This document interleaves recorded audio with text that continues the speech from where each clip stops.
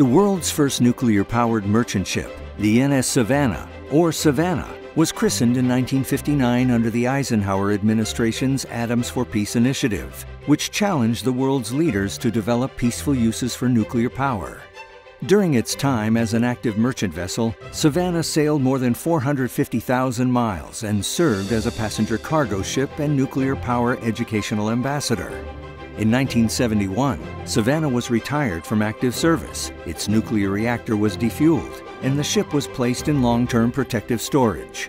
Historically significant, the ship was on display from 1981 to 1994 and was designated as a National Historic Landmark in 1991.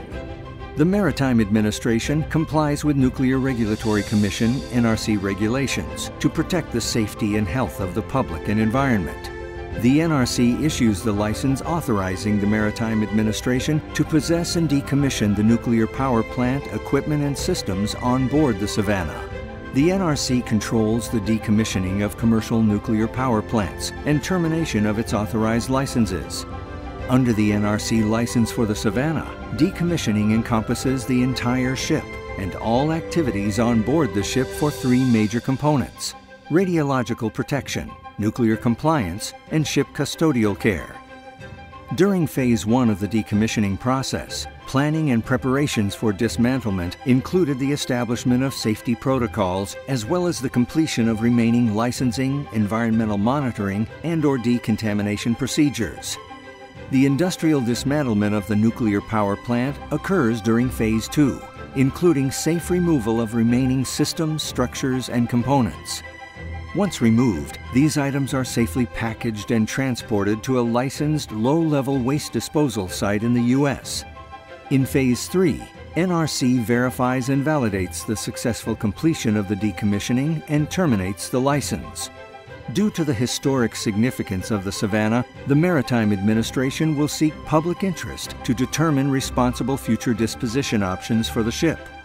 A few of the disposition options include ship donation, through ship donation, a qualified organization may choose to establish the Savannah as a museum, honoring the history of the ship and preserving it for the education and enjoyment of future generations. Artificial reefing. Artificial reefing provides an opportunity for Savannah to strengthen and promote marine habitats, enhance recreational fishing and diving, and reduce beach erosion. Recycling. Recycling the Savannah permits the collection of historic artifacts, repurposing of select components, and the reuse of valuable steel. These practical, cost-effective, and environmentally safe disposition options all provide economic and environmental benefits to the United States. The Savannah exhibits exceptional value in illustrating the nuclear, maritime, transportation, and political heritages of the United States. With your help, the Maritime Administration will determine the future of this historic landmark. Be a part of the NS Savannah's next chapter. Visit our website for more information.